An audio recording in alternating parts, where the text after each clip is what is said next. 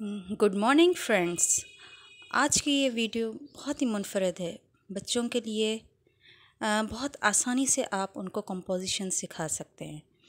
ये पूरी वीडियो एक बच्चों के लर्निंग के लिए है। जैसे कि मैंने कुछ एग्जांपल्स आपको यहाँ पर लिख के दिए हैं। आप अपने बच्चों को अपने घर में रेडी कर सकते हैं कि वो स्मॉल स्मॉल सेंटेंसेस बना के और अपनी इंग्लिश को इम्प्रूव करें। सबसे पहले जैसे कि कोई भी एक स्मॉल टॉपिक ले लें।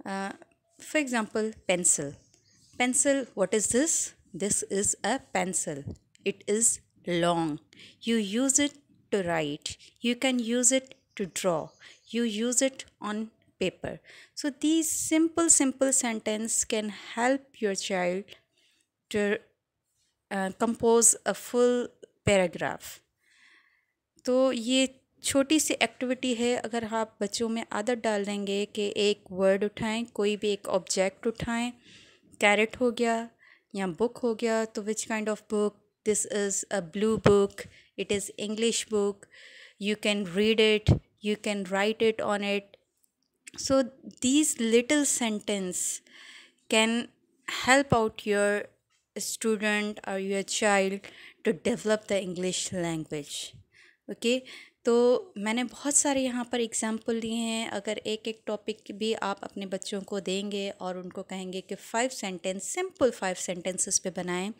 तो बहुत इजीली बच्चा सीख सकता है इससे कि कैसे कंपोज किए जाए। ये फॉर एग्ज़ाम्पल क्लास वन के लिए बहुत अच्छी एक्टिविटी है। क्लास टू के लिए अगर बच्चे एवरेज लेवल के हैं तो उनके लिए बहुत अच्छी एक्टिविटी कहलाएगी। ज़रूर ट्राई कीजिएगा और देखिएगा रिज़ल्ट अपने बच्चों में। ज़रूर बहुत अच्छा रिज़ल्ट आएगा। बहुत सारे एग्ज़ाम्पल्स हैं, आप पूरी वीडियो देखें और अगर आप मेरे चैनल पे न्यू हैं तो इस चैनल को सब्सक्राइब करें और वीडियो लाइक करें अगर आपको पसंद आए तो। Thank you.